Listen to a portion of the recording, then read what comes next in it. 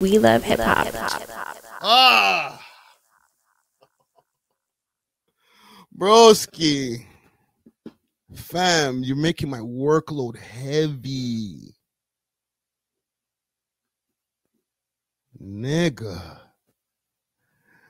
So apparently, let's go to Flacco's page. I think, I think, I think, I think, I think. You know what? There's a. Mm. Okay, so basically, there's some ghostwriting allegations that are starting to float around again about our guy Drizzy Drake. Big salute to Poetic Flacco. Let me see if I can find it over on his page. Actually, you know where to go. Let's go to Axe page. Let's go to Ack. AK.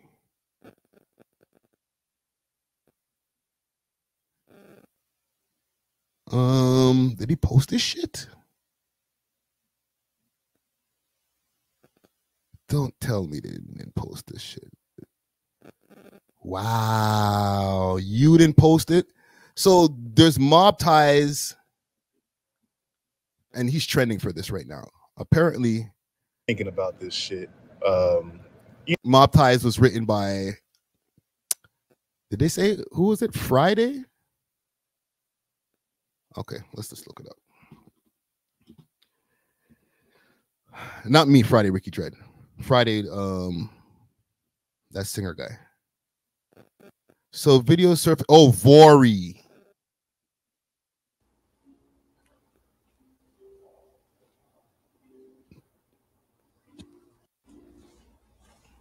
What is this? June 2017, Champagne Papi's house. Vory in the record in their recording. Ooh, Xbox sounds. A resurfaced video of allegedly. Why did they have to put allegedly? allegedly, Vory and OBD at Drake's estate recording in June of 2017 in the middle of the recent speculation of the leaked reference track for Mob Ties with Vory. It leads to people thinking it's Vory, Drake's ghostwriter. Oh, spaghettios. Oh man. Hold on. I don't know where to find this. I know I reposted this shit.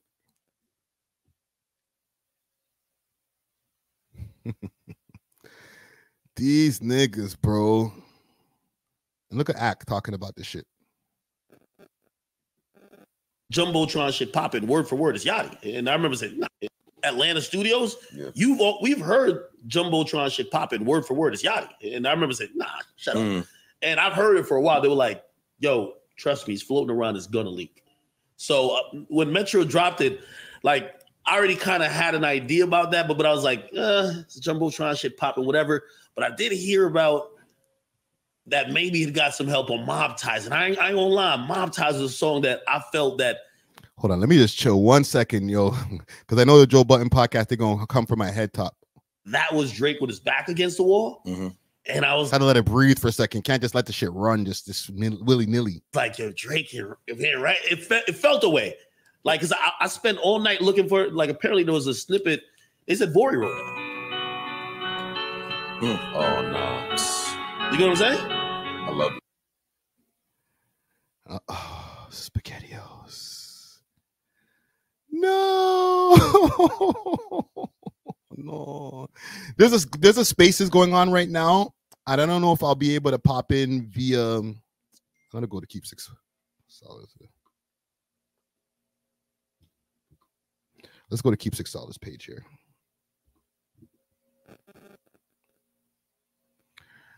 They might have posted about this. Because they're saying that Vory is the one who wrote this. Oh, and salute to 21 Savage. He popped out. Um, Drake popped out with him last night, but we'll get to that on another date. Why is nobody posting this? What are you guys doing? Wow. Salute to everybody over here in Toronto, but I ain't finding this shit on. Oh, oh no, oh, oh no. Let's do this.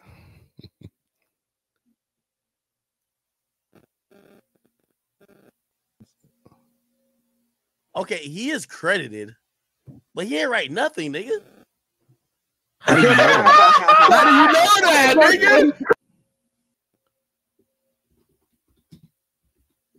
You got to be careful on Twitter. Holy shit, man. Let's hear this. Sick of these niggas, hey. sick of these bitches. Hire a shooter, you ready these bitches. And I'm on my riches. I turn out the bitch. I turn out the bridge. It is what it is, sure. Black push, cause that Lambo moving fast. Watch your homie if he movie on his ass. In the rocket and that bitch ain't got no tax. Louis bags in exchange for body packs. Yeah. I'm sick of these niggas, hey. I'm sick I wonder if I get a copyright for the beat. Jeez. That wouldn't be right. That wouldn't be right at all. God damn. these bitches, huh. Sire shooter, huh, huh.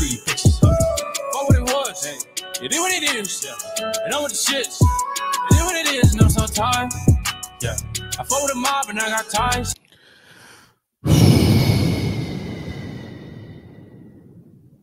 Bro. I'm listening for like the different lyrics. The hooks, I, I can accept hooks. Louis bags in exchange for body packs. Yeah. Louis bags in exchange for body bags. Okay. All right. Okay. I'm sick of these niggas, hey. I'm sick of these bitches. In the rocket and that bitch ain't got no tax. Louis bags in exchange for body packs. Yeah.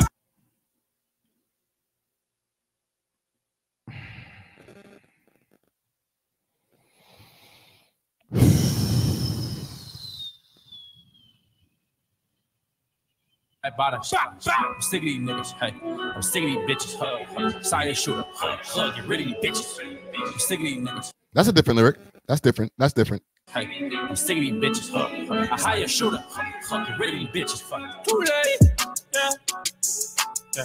Red beam on his mouth. Look like he been drinking Kool-Aid. Yeah. See, he didn't use that. Yeah. Told her if she slept up on me, baby girl, now it's too late. Okay. You know what? Let me check on something.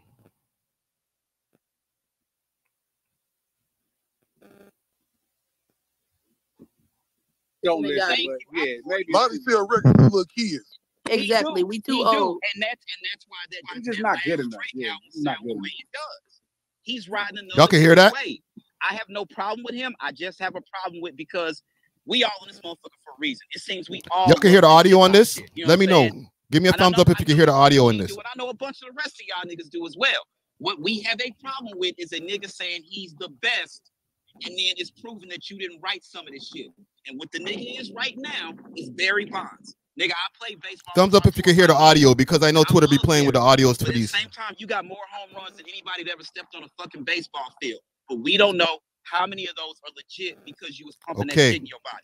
Look I don't Barry. know because they This never is Twitter proved that Spaces. he pumping nothing in his body, No, no, and no, he no. had Look like at Barry. Look at Barry on, let me Bonds. make sure I'm- I don't. I don't think that. I don't think steroids. Steroids doesn't help out with hand-eye coordination, though. You know what I'm saying? And- and again, Steroids. you talking So, somebody so that it- competitive baseball. It does not. What it did is help him get his 40 year old ass out the bed and play 162 games.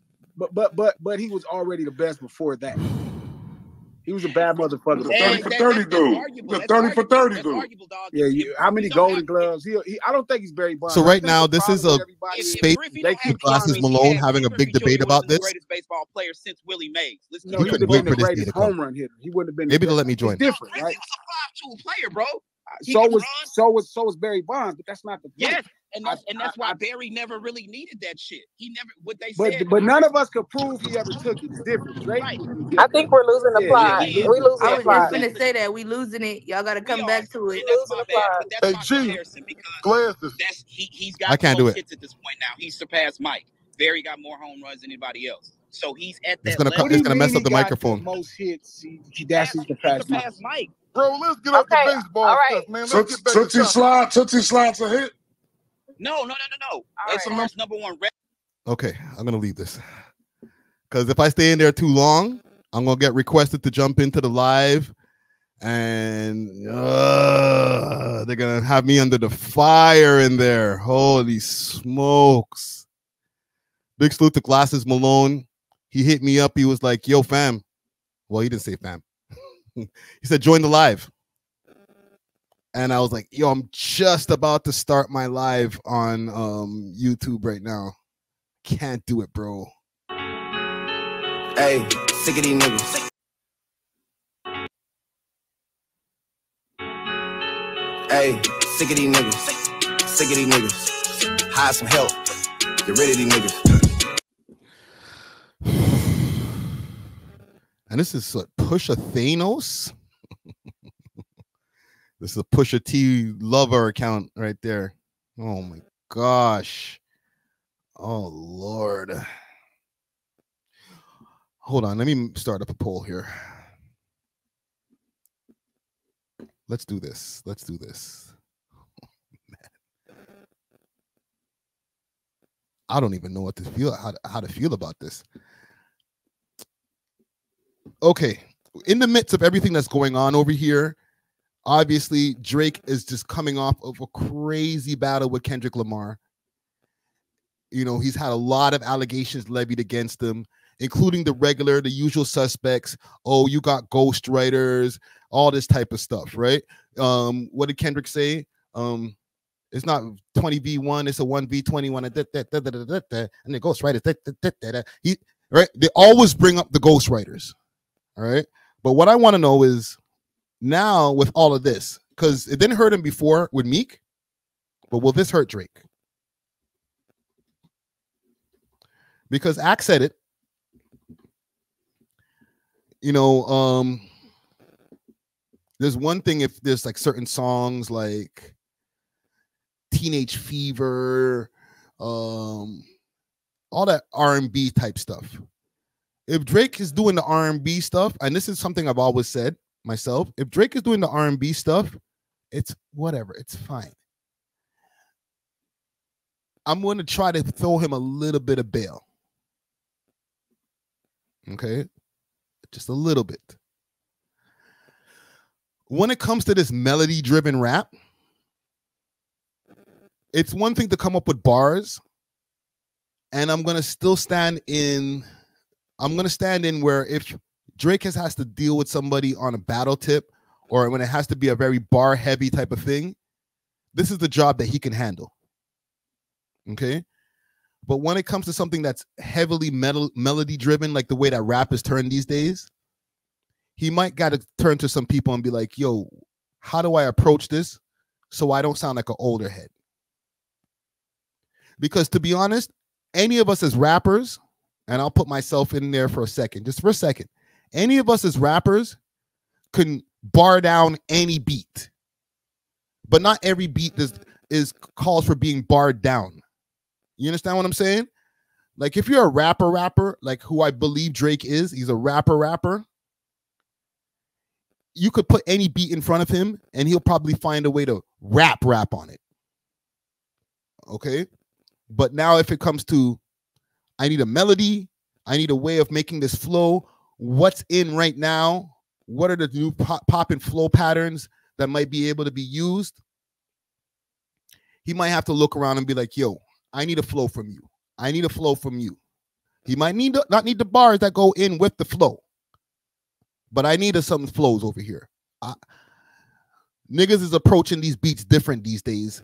I don't want to sound crazy just rapping my head off on any beat that that you know Tay Keith throws in front of me or Murda Beatz or Boi-1da or whoever. Okay. This is my theory. Let me know if y'all rolling with me with that. Or do y'all think that he don't write none of his shit? Because that would be that's crazy. I don't believe that Drake doesn't write any of his music or not music, his raps. But I do believe at this point, I got we gotta we gotta be realistic. There is some ghostwriters. I'm not gonna act like, well, no, oh, well, that's just one a one-off. No, this has been like the fourth time now. So obviously Drake gets some help when it comes to cranking out some of these bars, some of these flow patterns, like I said. Okay, but I'll throw him some more bail. He also puts out way more than any rapper I've ever seen, especially at this level. Okay, like I I'm thinking of Styles P, because Styles P puts out a lot of music. There was at one point in time where Styles P was dropping a mixtape like every few months. And Styles is one of those guys who go into the booth and he doesn't write anymore, from what I've heard. From what I've heard from a Dave from a Dave East interview, the Styles just goes there in there and just he just floats the ghost. But for you know to be at this level of of of success, to be able to be cranking out this amount of music on such a regular basis, I would imagine that it's hard to do that by yourself. To create this much content by yourself. So I've never been on the train of saying, "Oh, Drake never, ever, ever, ever, ever, ever has writers involved," because of the fact that he puts out hip hop and R and B. So I've always been under the assumption that all that R and B shit is just PartyNextDoor and whoever else does the R and B stuff over there. Okay, yeah, he writes a few maybe R uh, and B song here and there, but for the workload that this nigga probably has to, and listen, I'm sounding like super OVO lawyer levels right now. But for the workload that this nigga has in front of him on a daily basis to be able to crank out the music that he's doing and the amount of music that he's doing, I was just thinking, all right, all the R&B shit, y'all niggas handle that. You want me to have a pop hit? Get, just send it over to me. But when it comes to these bars, when it comes to this pen, when I'm getting at these niggas, let me handle that. I got this. These are just my assumptions.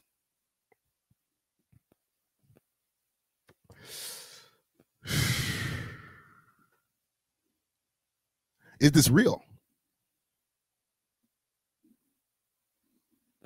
Okay, are we dealing with a real thing here, or are we dealing? Are we being hoodwinked by you know the Kendrick camp?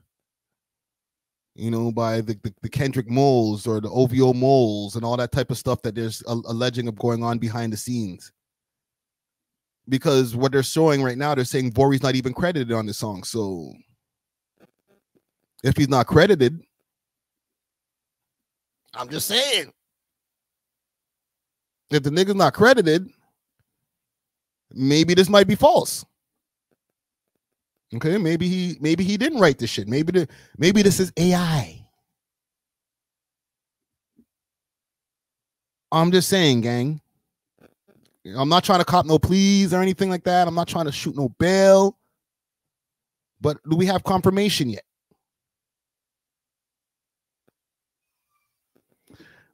Hold on.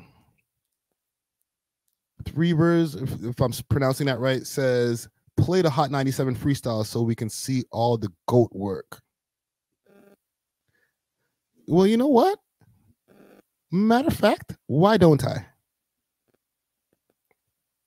They got he got a lot of flack for this Hot 97 freestyle, man.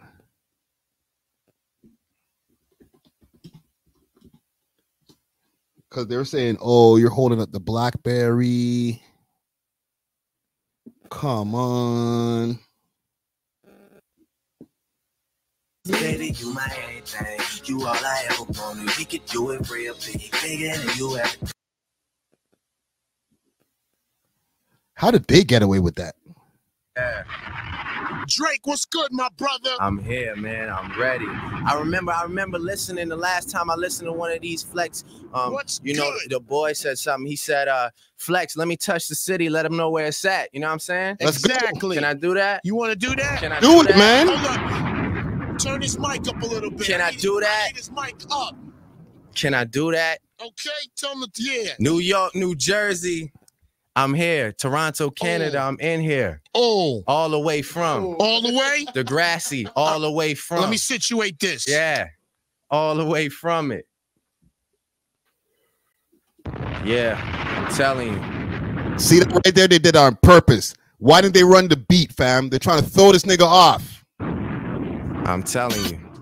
Uh Yeah. Right to the black. Oh, yeah. You know, yeah.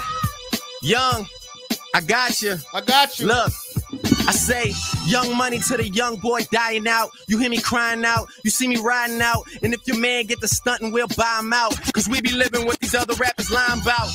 You telling me Drake didn't write that shit? Don't lie to me. Okay? Don't lie to me, gang. Go ahead, lie to me. Did Drake write this freestyle right here? This is a young Drizzy. He's probably like what 21 at the time. The nigga's 30. The nigga's 37 now, bro. Holy shit, man. Got me all discombobulated right now. Y'all telling me this nigga didn't write this shit? People said, no. Yo, you're an asshole, bro. Shit. Drizzy Drake, what? Funk Flex, uh, Hot 97. I'm so far gone. Yeah, I'm just getting started. Here we go. Look, let's get it. Uh, feeling good, feeling great. How you though? Bet you hear my name every single place that you go. Sipping on pink shit, but nah, it ain't Nuvo. Slow the f down for your asses on Pluto. Ooh. Yeah. He wrote this shit, man. Stop playing, gang. Tell me what it do. I belong to the youngest Grammy nominated crew. My city love me, but I got Toronto haters too that sit around and talk about what they'd have done if they was you. Ooh, you better not be talking about us in that bar right there, bro. That was around those times. There was a little bit of tension, but just chill. Yeah, but no, I bought. What? And even if he was, what? do What am I gonna do? oh, without a sphere in sight. Club owners give me reasons to appear at night. And just know that I be in the mirror like, are you listening? I hope you hear it right. Yeah, I'm in the Aston doing donuts. I will kill the game and never send it my condolence. Taught to never love a chicken, only love the moments. She's going in.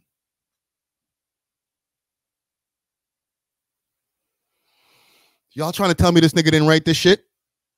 Lie to me. New York City, I can tell the people want it. Uh, you got for me, Flex? Uh, Look at it, yo.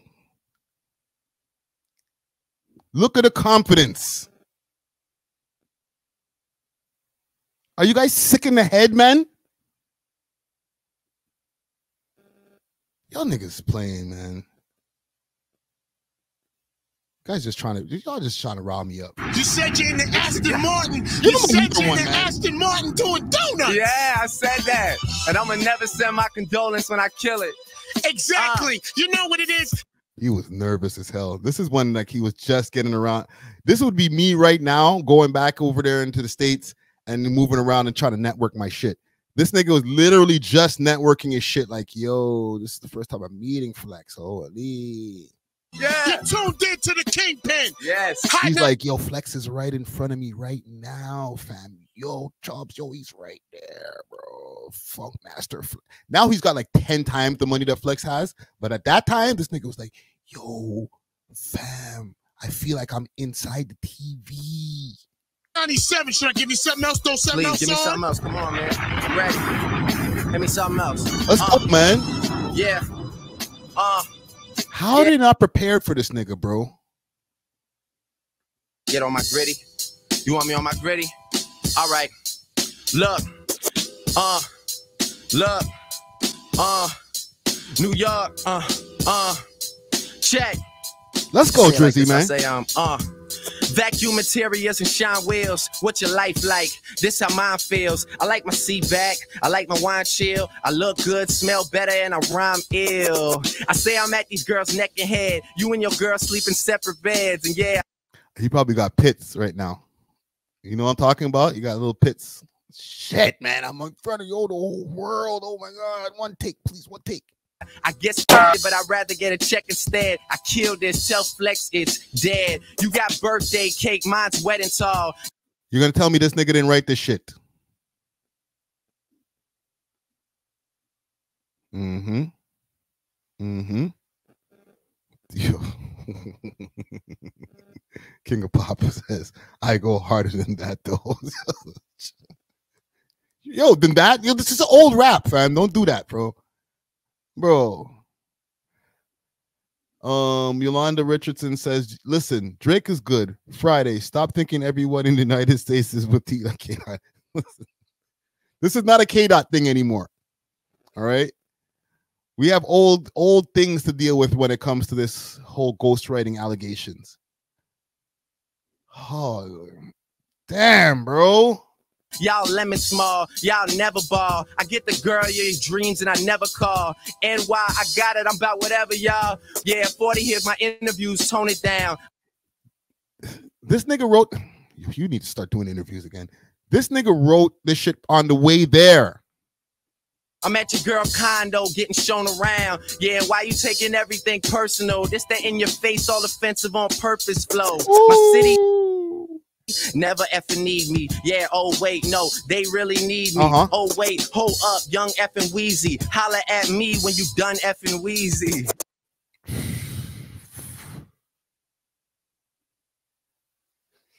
Yo, this, some of this shit did not age well.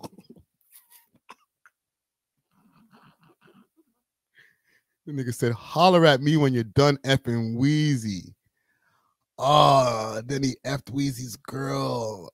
Ah. Salute to Drake, man. He's having a hard freaking time, man. Yo, I can't believe they're back on this guy's head, man. This is aggravating my soul, man.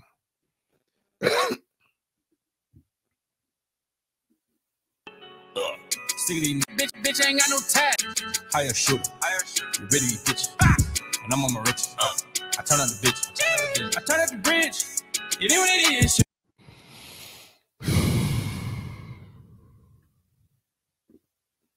I gotta get off of this, man. This is just, just like actually just aggravating my head, man.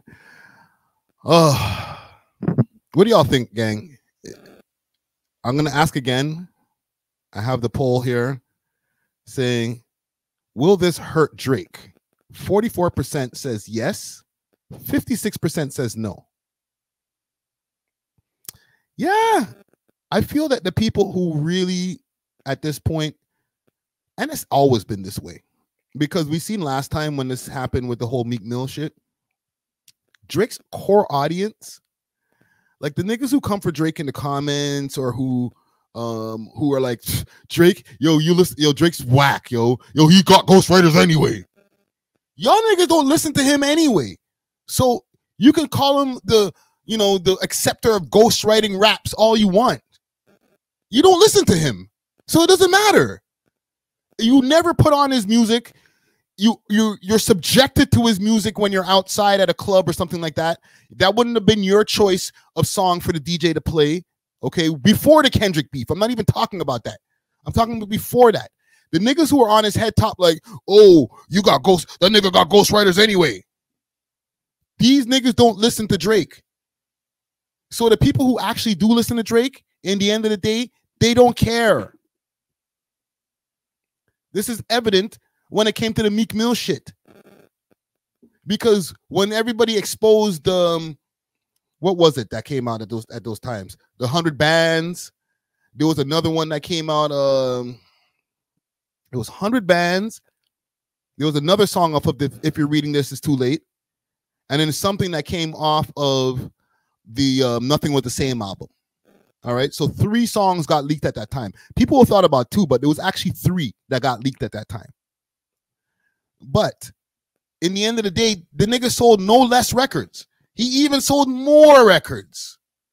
Drake has gone on to be way more successful than what he was at the time when he was under the first set of ghostwriting allegations. All right. Keep this in mind. And I'm just giving you the reality. I'm not here caping. I'm just giving you guys the reality of the matter. Before this whole Vory thing that's popped up today, this nigga had a whole hip hop community that was like, see, I told you he wasn't the one. We could never call him one of the greats. He doesn't even write his own shit. But those people in passing may listen to him. The ones who make content, they have to listen to him to keep up and know what they're talking about. But as far as like just listeners, audience members, they're not part of Drake's audience. So it doesn't matter what they say. It doesn't matter how much they don't like that he has ghostwriters because they're not listening to his shit. And when they do, they don't like it. Okay? They don't like it because it's not eh, they don't like it because it's not good. They don't like it because of whatever preconceived things that they have in their mind of whatever they feel that real music should be. They're like, he's not it. So we don't even like him. So the people who are insulting Drake most of the time, and I'll say it again, don't listen to him. The people who do listen to him, they don't even they didn't even know he had a beef with Kendrick Lamar.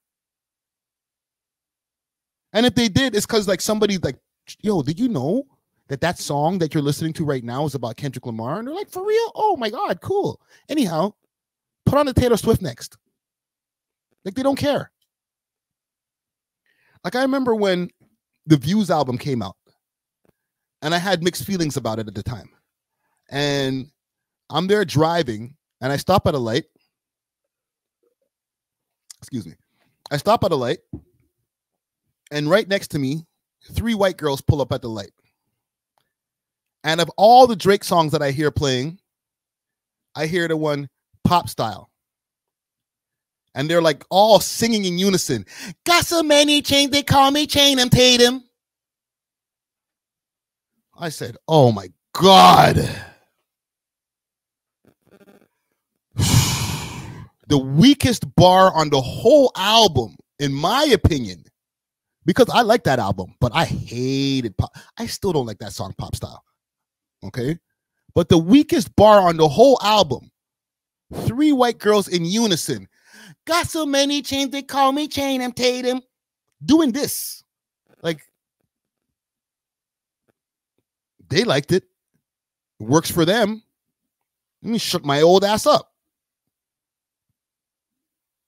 Okay.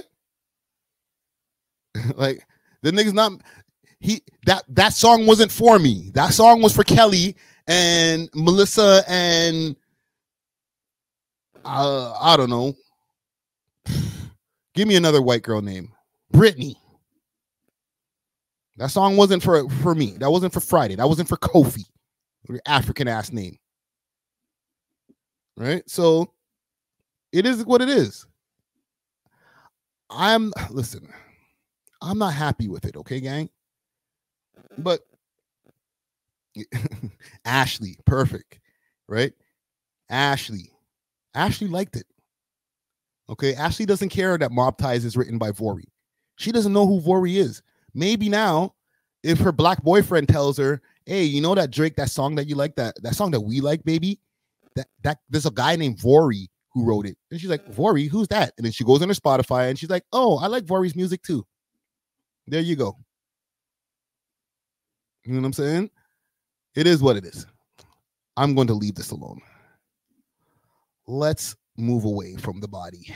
We love hip hop.